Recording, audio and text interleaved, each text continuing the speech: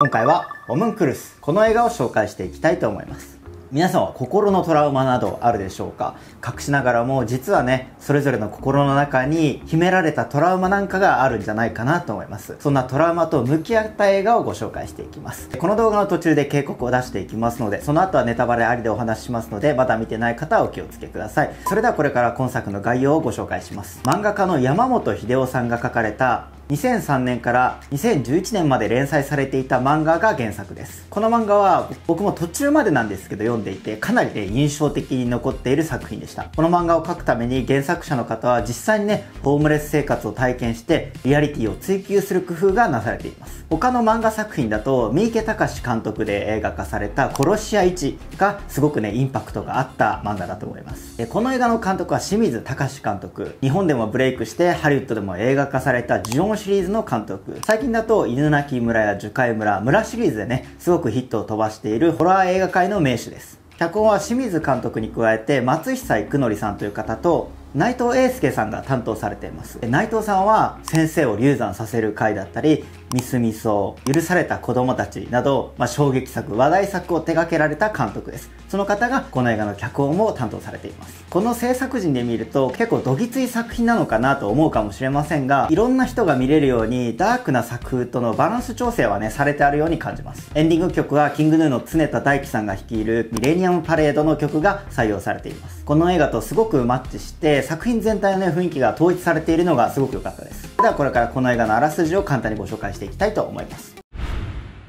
新宿西口でホームレス生活をする主人公名越。彼は一流企業で働いていましたが、あることがきっかけで車中生活をしながらお金があるけれどもホームレス生活を送っていました。そして彼は記憶の一部が欠如している状態でした。感情を失ったような名越の前に奇抜なファッションをした伊藤という男が現れます。彼は名越に大金を払うからトレパネーションという頭蓋骨にドリルで穴を開ける手術をして自分の実験に協力してくれないかと誘います。トレパネーションを行えば第六感が芽生えたり忘れてしまった記憶を取り戻せることがあると伝えます。最初は断っていた名越でしたがその手術を行うことになります。手術後の名越は右目を塞ぎ左目だけで見るとその人の心の歪みが可視化されるようになっていきます。人の深層心理と彼自身の失われた記憶が明かされていく。という物語になっています。まずいつも生意気ながら個人的な評価をしているんですけれどもこの作品は A プラスかなと思いました。漫画の実写化作品の中でもかなり良映画だったように僕は思いました。この映画は ABEX Pictures が制作なんですけれども、Netflix もクレジットされていたので、予算的にもそこまでスポンサーの顔色を伺うことなく作れたんじゃないかなと思いました。オープニングやエンドクレジットも日本語表記と英語表記両方とも載っていて、マーケットは日本だけじゃなくて世界もね、見据えているように感じました。なので、お飾り的なゲスト俳優などいなくて、ビジネス的に作りました感がね、なかったのもすごくく好印象でした。この映画がどんな人がおすすめかという部分ですが、結構いびつな物語なので、危険な香りがする作品が好きな方にはおすすめです。もちろん頭蓋骨に穴を開ける手術シーンはありますが、もろには映っていませんが、音で表現されているので、見ながら、うわー痛そうとはなります。ただ、歪んだ心の内側の部分は、いろんな人が抱えていそうなものが含まれているので全く共感できなかったりとか理解できない映画にはなってないと思います。ただ PG12 指定性描写も多少入るのでそこはご注意ください。原作は15巻までありますがそれを再構築して1本の映画にまとめてあります。原作のキャラと風貌は違いますが殴りたくなるようなね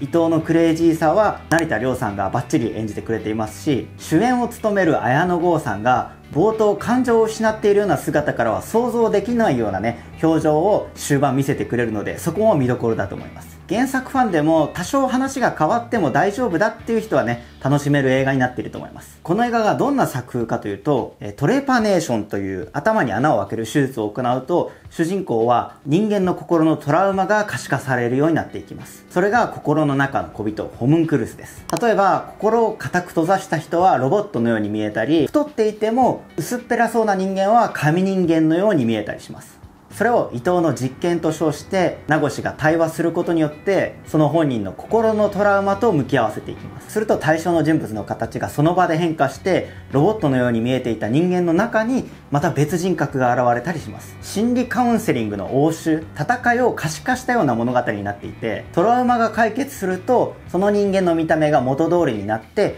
それ以降は変化しないようになっていきます。えー、なので人間の心の複雑さが見える化されていきます。普通の人間に見えていたけど、実はこういうトラウマを抱えていたり、旗から見ると、こいつら何やってるんだろうって思えることがその人にとっての救いになったりします。この映画に出てくるトラウマは罪悪感や親への反発思春期への焦りありがちなものも含まれているので決して人事のようには感じない部分もあると思います。むしろつながりすぎて複雑化した現代社会だからこそ響く部分もあるんじゃないかなと感じました。そしてただ人の心の内面を覗くだけではなく深淵を覗く時深淵もまたこちら側を覗いている。この主人公名越本人の心も暴かれていきます。決して暗いだけではなくて逆転の要素もね含まれているので気になる人はねぜひ映画館でご覧になってみてください、えあとエンドクレジット後には本編とは関係ないんですけれども漫画と映画のコラボムービーも流れるのでこの映画が楽しめた人はねエンドクレジット終わるまで着席した方がいいと思いますそれではこれからネタバレありに移行していきたいと思いますはい。ではネタバレありの時間です。ご覧になった方々いかがだったでしょうか？結末を簡単におさらいしておくと、名越が途中で知り合った謎の女は、彼の元カノだと思い出す。彼女と再会して関係を修復した名越は、ホムンクルスが見えなくなってしまう。ですが、真実は別のところにあると、伊藤に告げられた名越は、自ら頭蓋骨に穴を開ける。実は彼女こそが元カノが亡くなってしまう事故のきっかけを作っていた人物だった。彼女と向き合い、真実を告げさせることで、そのトラウマを解消させる。その後、近くで見ていた伊藤のホムンクルスと向き合い、自分だけでなく他人を見ることで世界が見えてくることを伝えます。その後、名越は彼女と2人で歩き始め、伊藤はトレパネーションに取りつかれていくという結末になっていったと思います。女子高生とのシーンまでは割と原作に忠実だったんじゃないかなと思います。結末の部分は結構再構築やこの映画のオリジナルを加えてあるように思いました。僕としては原作漫画でかなり印象的に残っていた名越が自分の精子を手のひらに乗せて自分で食べ尽くすシーンそれによって性を実感する場面はかなり印象的に残っていたのでこの映画でさすがにそれは映像化できなかったかと思いました。しょうがないですが全体的にエッジの効いたシーンは抑えてあるように感じました。それでもこの原作漫画はめちゃくちゃメジャータイトルではなくてどちらかといえば結構ニッチでカルト的な人気を誇っている漫画なのでそれの実写化で CG をちゃんと使ってホームクルスを視覚的に表現するところは結構チャレンジしたなと思いました。いびつに見える心理的な攻防戦ですが幼少期の罪悪感や女子高生の処女への焦り親から与えられた記号的な自分という存在からの乖離過去の罪の懺悔など中身は普遍的なトラウマだったように感じました。ラストは伊藤を抱きしめて諭すという希望的な側面も描いてありました。プレパネーションで可視化されている他人のトラウマは自分の中にもあるもの。自分のトラウマと向き合うことで初めて救いは訪れるのかもしれません。清水監督はホラー的な部分を求められますが最近の作品を見ると怖かったとか不気味だったとかもっとそれ以外のところを描いて観客の中に何かを残そうとしているように感じました。ですが最後は伊藤は自らトレパネーションを行って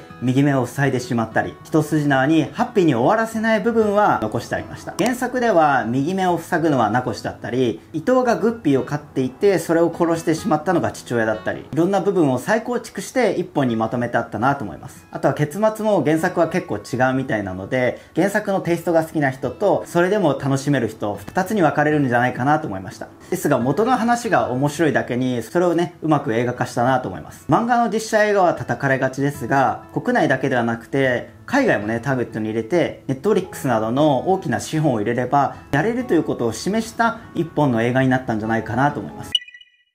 はい。以上で映画ホムンクルスのレビュー動画でございました。こういった形でジャンル関係なくいろんな映画を紹介しておりますので、よければチャンネル登録、高評価、コメントなどもお待ちしております。それではまた次の映画でお会いいたしましょう。さよなら。バイ。実際に映像で映されなくてもあの手術のシーンとかであのニチャーとかベリベリみたいな音が流れてくるとやっぱ見せなくてもうわ痛そうってなりますね。